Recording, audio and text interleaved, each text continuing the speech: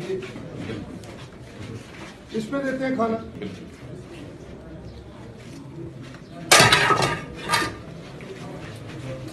कहा है आपका स्टोर रूम खाने के जो चीज़ें पड़ी होती हैं। स्टोर या